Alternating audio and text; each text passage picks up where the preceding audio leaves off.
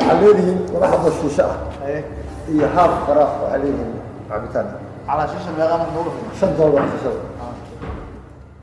Waa codka nin fadhiya miis yar oo yaalla iridda laga soo galo goobta aan tagnay oo aan doorannay in aan magaceeda qarinno si aanay baahinteennu u sababin dhibaato kale si ay ugu yaraan hoos ugu dhiganto dhaqanxumidan waxa uu u eg yahay khasnaji waa da'aadda afartan jirka waxa uu qofka gelaya ka iibiyaa hadba waxa uu doonayo in uu cabo halkan kama gudbi karo qof aan ugu yaraan iibsan. Maandooriyaha shiishadda oo uma gudbi karo. Dabaqa labaad oo ka kooban shan qol iyo barxad weyn oo ay yaallaan. Kuraas si meegaar ah loo dhigay. Sidaa awgeed waxaannu ka iibsannay laba shiishad ah oo uu naga siiyey toban dollar garaafo cabitaan qara ah iyana joogta saddex dollar. Waxaa la yaab leh in aadan gudbi karin haddii aad iibsato cabitaanka caadiga ah.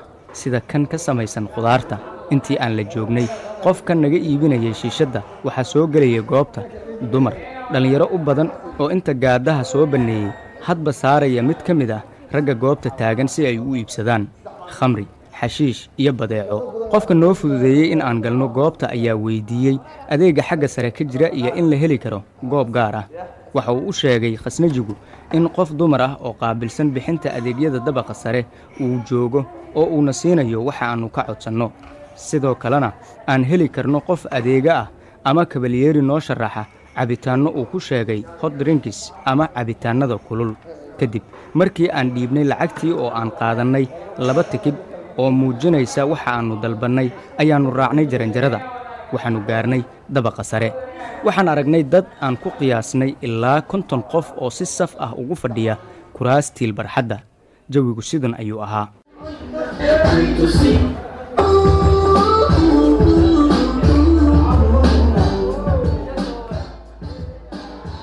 goobtani waxa ay si xoog badan u shidan tahay habeenka axadda oo la isugu yimaado. Ilaa iyo siddeed qof oo ah afar rag ah iyo afar dumar ah ayaa gacmaha ishaysta oo hadba dhan isu rogaya. Waxay noola muuqatay in ay soo guuriyeen qoobka ciyaarka filimada hindiga ah ama kuwa bulshada bariga afrika oo caan ka ah waddammo ay ka mid yihiin kenya tanzaniya iyo yuganda dumarku ma aha sidii ay hooyadood ku dhashay ha yeeshee dhar ma sitaan ragga la qoobka ciyaaraya ayaa waxa ay u labisan yihiin sida madowga maraykanka gaar ahaan kuwa sida waalida ah u ciyaara muusikada. Dadku waxa ay u wada fadhiyaan wiil iyo gabarh waa labalabo gabadhii iyo wiilkii wada fadhiyaaba waxa ay si wadaag ahi u nuugayaan tubo ku rakiban haan xagga sare uu dab ka baxayo. Sidaa awgeed qaac madow ayaa laga yaabaa in uu ku caburiyo oo aad neefsan weydo kooxda ka socotay mustaqbal qaarkood maanay aqoon in ay maqleen mooyaane shiishadda iyo sida loo cabo. Qofkiina loo soo tilmaamay ayaa noo yimid oo noo sheegay in aan hadda dalban karno cabitaannada kale. Dhowr qol ayaa jira halkan. Waxa ay gaar u yihiin khamrada iyo xashiishka. Qolalkaasi iftiin ma laha inta lagu cabayo xashiishka ama khamriga. Waxaa keliya oo aad arki kartaa dadka fadhiya oo rag iyo dumarba leh. Qofkii doonaya in uu galo waa in uu sugaa inta ay ka soo baxayaan dadka ku jira marka ay dhammaato heesta qoobka ciyaarku oo ay tan xigtaa bilaabanayso ragga fadhiya meesha ee doonaya in ay markoodii qoobka ciyaaraan. Waxa ay dooran karaan gabadhii ay doonaan ee fadhisa goobta. Sidaa awgeed dhowr mar ayaannu koox ahaan ka cabsannay in nala doorto oo aan ka mid noqonno qoobka ciyaarka ha yeeshee ma aanay dhicin. Intii aannu fadhinnay waxaa soo gelayay dumar fara badan oo markii ay fadhiistaan loo keenayey wax ay cabaan. Waxaa la yaab lahayd in hadba labada qof ee sida xishood la'aanta ahi u ciyaarta in sacab iyo qosol loogu dhufanayey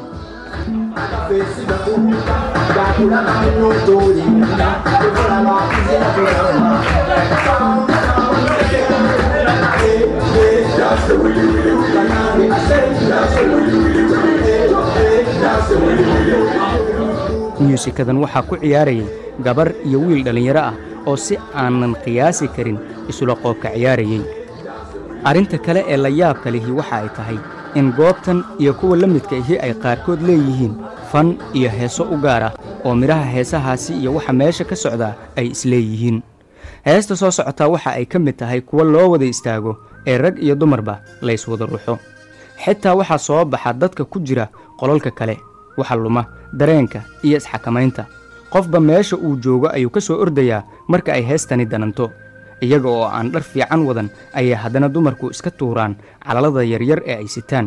Kadib qoobka ciyaarka iyo isku dhexyaaca ayaa bata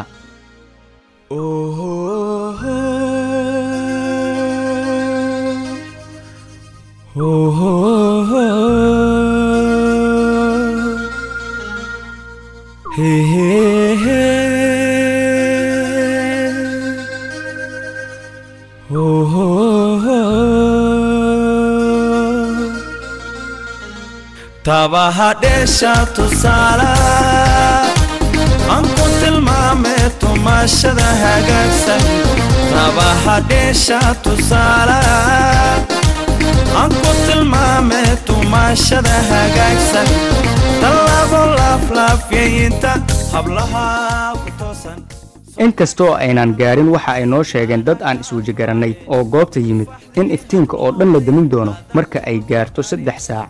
Sidaa daraaddeed ayaannu ka soo baxnayba siddeedda iyo qadar konton daqiiqo.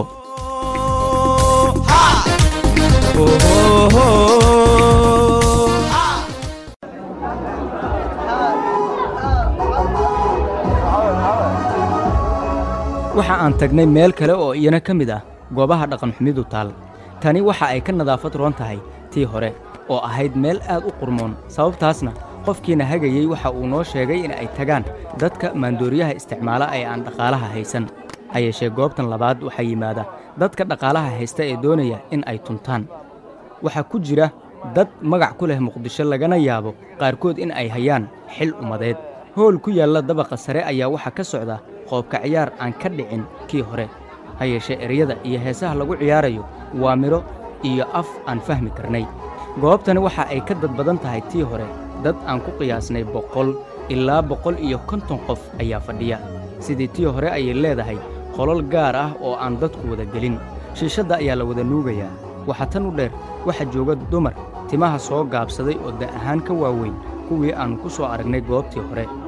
Tani waxaay uga duwan tahay tii hore dumarka soo gelaya ee aan gawaarida wadan waxa ay ku yimaadaan dhar caadi ah ha yeeshee waxa ay sitaan dhar kale oo ay ku labistaan marka ay soo galaan goobtan. Qaarkood ayaa ku labisan goono gaaban iyo rajabeeto ama kayshali. Waxa ay dhexda haystaan dhalooyin dhaadheer oo xagga sare u dhuuban. Meeshii goobtii hore ay yaalleen codbaahyayaal waaweyn iyo heeso duuban tani waxa u jooga dad u heesa oo inta masraxa u fuula hadba u saara waxa ay doonayaan. Waxaan isku daynay in aannu raadinno bal cid mas'uul ah oo ka mid ah goobta ha yeeshee xagga sare waxaa bixiya adeegga dad qudhoodii ku tuurta qoobka ciyaarka marka ay doonaan.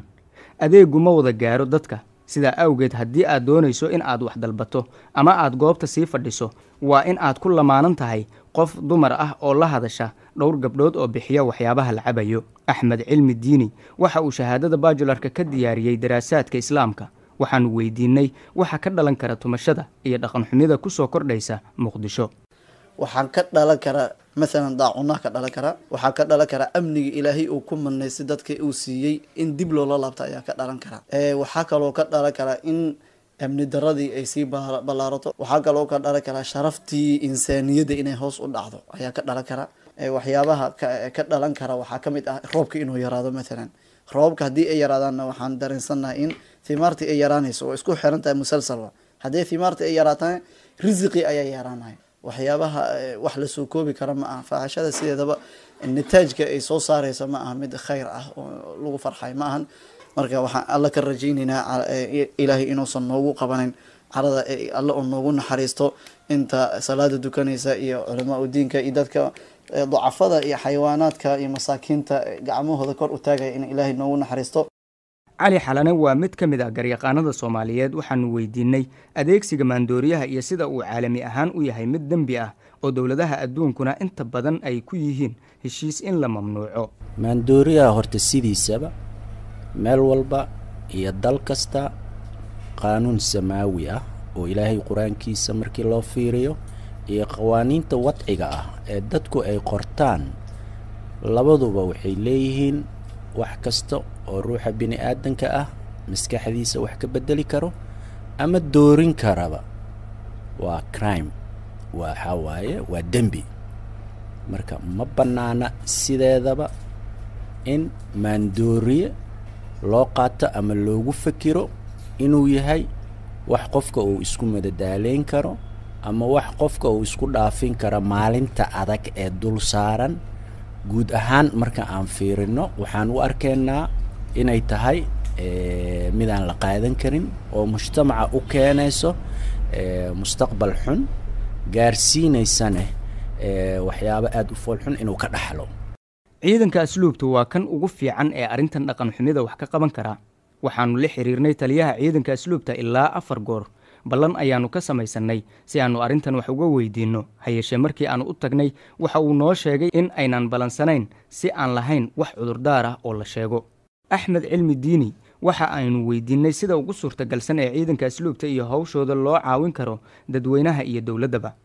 Taas waxaan u kala qaadayna waxaan isdhiila ani fikir ahaan laba siyood ayaa loo caawin karaa ciidamada asluubta. Mid waayo ciidanka laftirkiisa inuu ku soo xirmo shacabka inuusan iska faquuqin ah mid waayo central system in lagala soo xiriiro ciidanka nafsuhu. Maanta haddii loo baahdo in faaxishadaasi qof inuu soo gudbiyo ma garanayo xaqiiqatan meesha ula soo aadi lahaa ilaa ma ahina inuu imaado xabsiyada iyo meelaha ay ciidanka joogaan. Waxaa loo baahan yahay ciidanka soomaaliyeed oon kula talin laha asluubta khaasatan in ay samaystaan central system mobeello ama taleefonaad ama meel lagala soo xiriiro in ay yeeshaan. Marka hadda tadawurka la gaarin ma diideyso in la heli karo meel lagala soo xiriiro ay yeeshaan. Midda labaadna waa in shacbiga la shaqeeyaan ciidanka nafsuhu inay la shaqeeyaan oo ay garab istaagaan. Ciidanka waa walaalahayn waa waalidkeyn waa dadkiina dhalay. Marka waxaan isdhihi lahaa marka koowaad nuqdada koowaad waa in shacabka iyo ciidanku ay naqdaan mid keliya islamarkaana shacabka iyo ciidanka iskala shaqeeyaan arrimahaasi oo garyaqaan cali xalane ayaa sheegaya mar kale dhibaatooyinka uu maandooryuhu u keeni karo dalka dadka iyo guud ahaan bulshada. Haddaba si looga hortago adeegsiga maandooriyaha waxa uu soo jeedinayaa garyaqaan cali xalane. Dalka wuxuu u keenayaa shaqo la'aan wuxuu u keenayaa ixtiraam la'aan wuxuu u keenayaa mujtamaca asaga ah diinta iyo akhlaaqiyaadkii oo hoos u dhaco haddii aad fiirisid waddamada ma garanaysaa reer galbeedka ah. Ruuxoodu xataa maandooriyaha waxay u sameeyeen limiday u sameeyeen. Xadkaa asaga ah ay u sameeyeen waxaa ka mid ah mararka qaarkiis waxay leeyihiin faystooyin ayagoo u gaar ah ama maalmo ay ugu magac daraan banaanbaxyo ama maalmo ay shaqooyinka ay ka fadhiistaan. Maalmahaasoo kale qofka waddanka asaga ah ku nool markuu wax maandooriyaha ou isticmaalo. Laakiin ma aha maandooriyaha aan kala qaadno ma aha maandooriyaha adduunka ou la dagaalamo oo sida dragska oo kale kaasoo horta xadkuu ka baxay ka hadli mayno. Laakiin waxaa jiro maandooriye aan kaa waxba dhaamin laakiin qofka caadiga ah u diidayo inuu wax qabsado caafimaadkiisana wax u dhimayo dadnimadiisana wax ka bedelayo. Haddii ay jirto qof ay baahintan dhibayso dhegayste isweydii dhibka dhan walba leh ee dhici kara ama qaarkiiba dhacaya marka ay dhallinyaradu ku bixiyaan wakhtigooda tumasho iyo adeegsiga maandooriyaha oo labaduba ah kuwa ka